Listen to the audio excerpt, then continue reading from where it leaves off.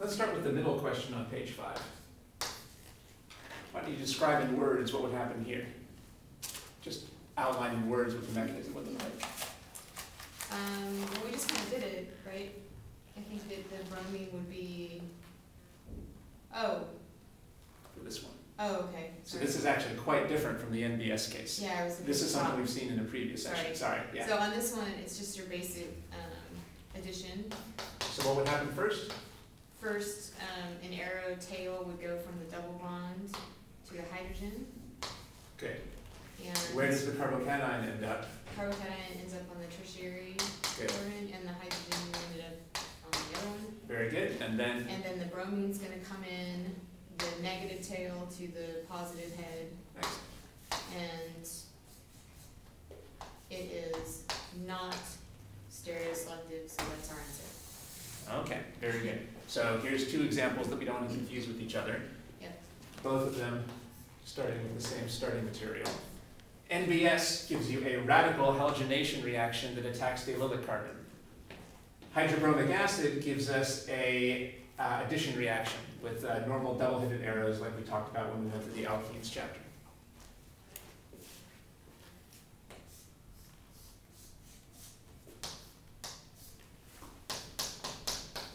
So was that Markovnikov or anti-Markovnikov? Markov.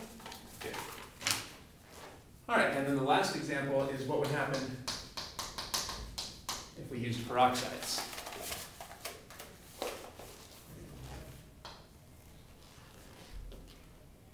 Okay, well, I'll walk you through that. First of all, what is a peroxide? A peroxide is when you have two oxygens bound to each other. So this is the general formula for a peroxide. Something, an oxygen, another oxygen, and an R. In the previous session, we were looking at hydrogen peroxide. We didn't actually draw it out, but that actually had two oxygens bound to each other.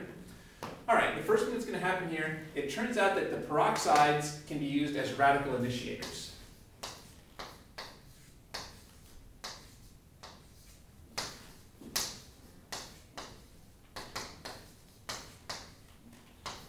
I saw this in your video. Oh, you did watch the video about I, this? I Yeah, didn't realize I did, but yeah, that's right. I did. Even though this was in the, uh, so uh, those students uh, were covering this reaction in their alkenes chapter, but you're covering it in your radical chapter. You can see why it could go in either the radical chapter or the alkenes chapter, because it has radicals, but it's also attacking an alkene. Okay, well that's good, because we won't have too much time to go into the details, but we can review what you saw in the video. So here's our initiation. Um, now these are very reactive. Does this need light in order, I would think the peroxide would need lighter heat to split, but he didn't actually mention that here on the page. So, um, maybe I can look in the book, it usually show light or heat for peroxides?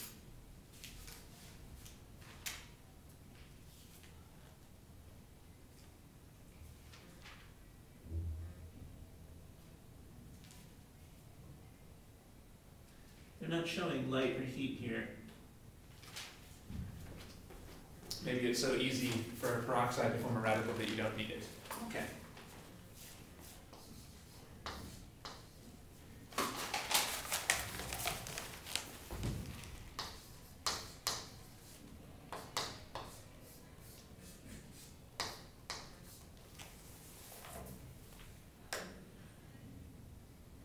No. Now the peroxide attacks the HBr.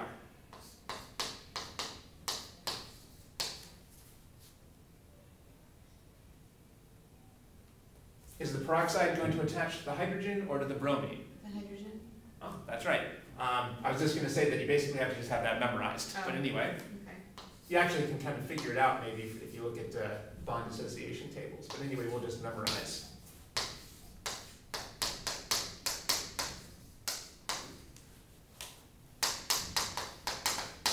This is also considered an initiation step, even though it's going from a radical and a non-radical to another radical and a non-radical. It's still initiation because we didn't care so much about this peroxide radical. What we need is the bromine radical. So Mhm. this is another initiation step. This is the first time we've seen two initiation steps.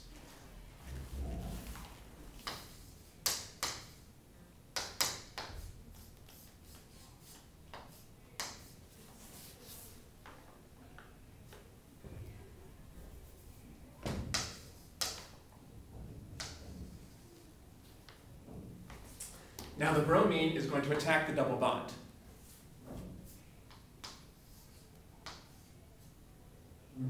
Very important that we don't forget,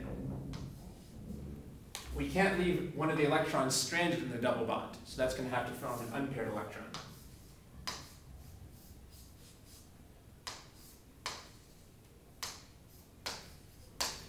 And this arrow shows that we're forming a bond here to the bromine.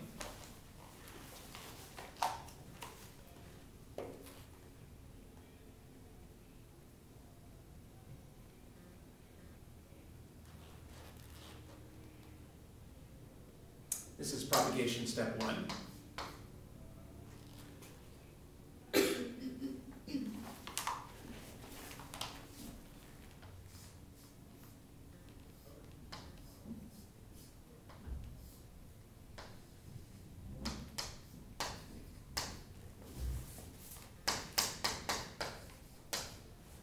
Now we tack another hydrogen bromine.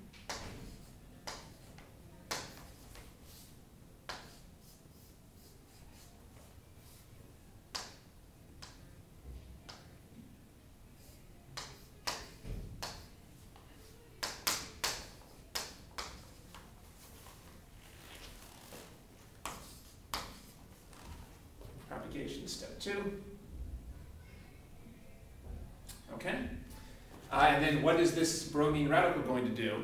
Well, notice that a bromine radical is the product of propagation step two, but it's also the starting material for propagation step one. So we can go back and do another propagation step one. Here's where we get the chain reaction again. This is another chain reaction. We can repeat these two propagation steps many, many times. That's why this is considered initiation still, even though it's the second step, because this is not going to get repeated. We have to do this once, and then we do this once, and then we can do these two things billions of times. Wouldn't we do propagation step two as propagation step one, because propagation step one is always to take the hydrogen? That was for a different reaction. Oh, and so it's not always that way? Although, um, yeah, this is a di- different reaction. How's that different? That was when we were looking at radical substitution. Okay. Remember that in radical substitution, we had to remove a hydrogen and replace it with a halogen. Mm. But now we're learning radical addition. You see how this is really an addition reaction because we're adding two things. We're adding a hydrogen and a bromine to remove a pi bond. Um, so what we learned for radical substitution, that slogan isn't going to carry over anymore. We just have to learn this as a new mechanism. Um, here, we're not, we're not removing any hydrogens.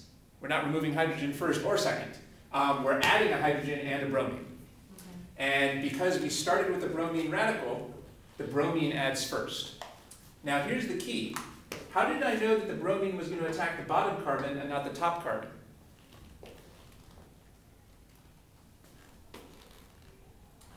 This is the key regiochemistry. Why does the bromine end up attaching to the bottom carbon and not the top carbon? What would be bad about attacking the top carbon? Why is this a good intermediate to have formed? Oh, because it wouldn't have formed uh, a radical on the, carbon. That's right.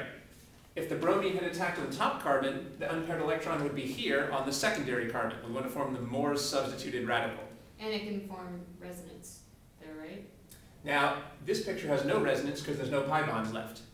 Oh, okay. Resonance Oh, right. has to involve pi bonds. I was thinking you could, never mind. Yeah, here we have no resonance because we're destroying the pi bond. We don't want to confuse this with our allylic halogenation where we kept the pi bond. So it's really, um, you can see how it's easy to get these different reactions confused with each other. So that's why I have them all on the, on the board here at the same time.